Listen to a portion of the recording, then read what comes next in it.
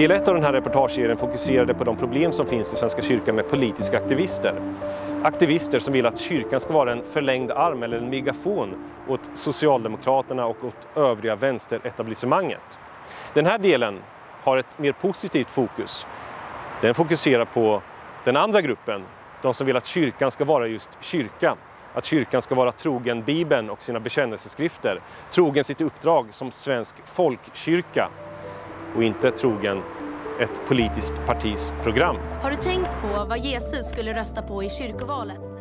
PS. Glöm inte att Jesus var sosse. I del 1 fick vi höra från Helena Ledvon att jag skulle kontakta kyrkoherden Lars Persson om jag inte förstod eller om jag hade frågor. Det är ju inte jag ensam som enskild individ som, som säger detta. Utan det finns ju fler du kan diskutera detta med. Vår kyrkoherde just nu, Lars Persson, kan du prata med också om detta?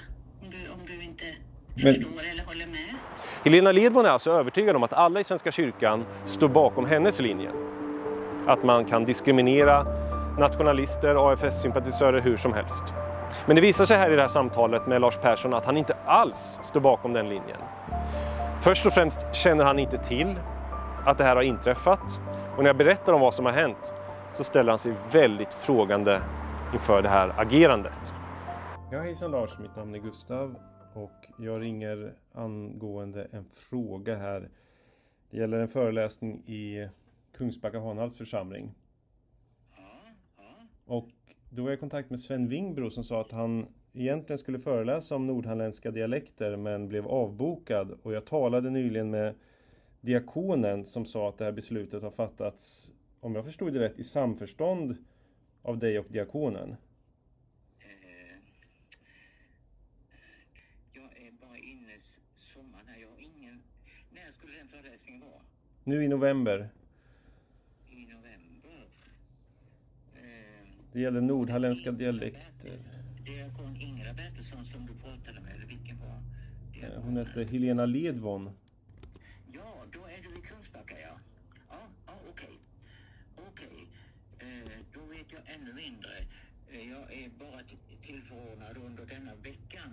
Just nu så är det bara liksom vikarier på. Så att eh, det är svårt att rekapitulera det som har...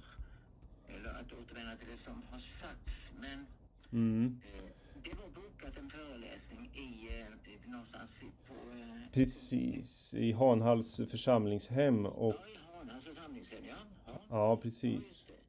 Och jag talade med Helena Ledvon och hon var, då, hon var då helt öppen med att man hade avbokat Sven Wingbro heter den här herren för att han kandiderade. Ja, jag vet ja. Okej, ja.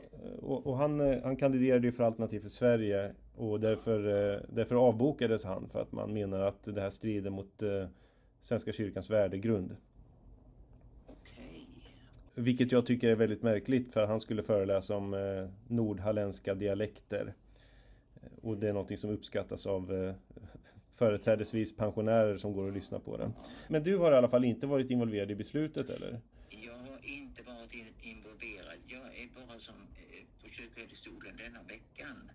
Mm. Eh, Så att du ringer rätt person om du ska hitta någon. Men, men det, i den bemärkelsen. Men, men eh, ja, alltså man kan ju tycka olika om den, den anledningen till.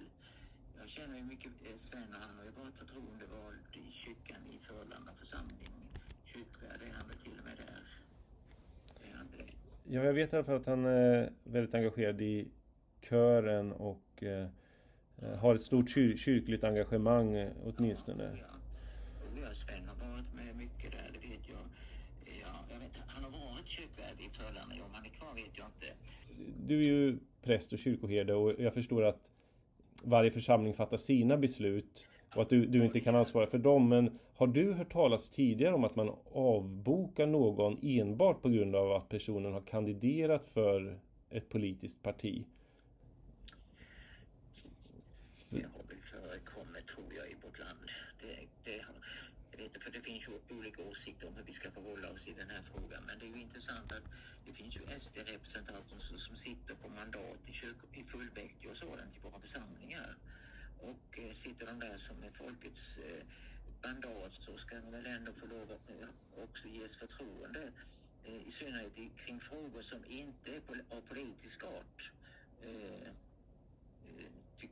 Mm. Ja, nej, och det tycker jag också. Dessutom Alternativ för Sverige är ju då inte Sverigedemokraterna men, men Alternativ för Sverige Alternativ för Sverige är invalda i, i kyrkomötet med tre mandat och är därmed alltså valda av kyrkans medlemmar. Så.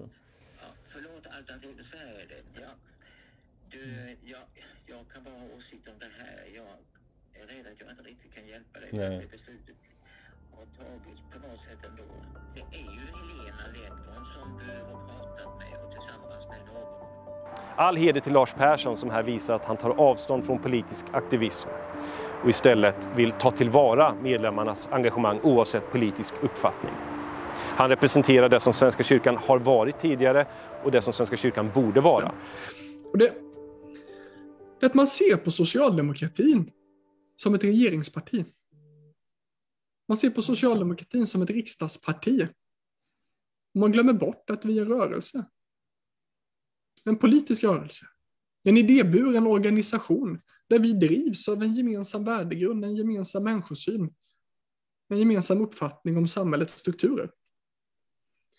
Det är åsikter, värderingar och människosyner vi inte kan plocka av oss likt en hatt och säga att idag är jag sosse, medan idag är jag kyrklig. Vi är de vi är och vi är våra värderingar. Och den utgångspunkten tycker jag är viktig. Här säger alltså Socialdemokraternas gruppledare i kyrkomötet att han inte tänker skilja på sitt politiska engagemang för Socialdemokraterna och sitt kyrkliga engagemang. Han anser alltså att man inte kan ta av sig sin politiska hatt eller lämna sin partibok när man går in i en svensk kyrka. En helt bisarr uppfattning. Och han borde naturligtvis fråga sig varför hundratusentals, ja till och med miljoner har lämnat Svenska kyrkan i takt med att den har blivit mer politiserad. Alternativ för Sverige tillsammans med miljoner av kyrkans medlemmar och, vågar jag säga, en majoritet av svenska folket representerar uppfattningen att kyrkan ska vara just kyrka. I den tredje och avslutande delen av den här reportageserien söker jag den andra personen som Helena Ledman har hänvisat till, nämligen kyrkorådets ordförande Marianne Andersson. Vi får se hur det går. Och sen kontaktar jag även Sven Wingbro för att höra hans ord om det som har hänt. Vi ses nästa vecka.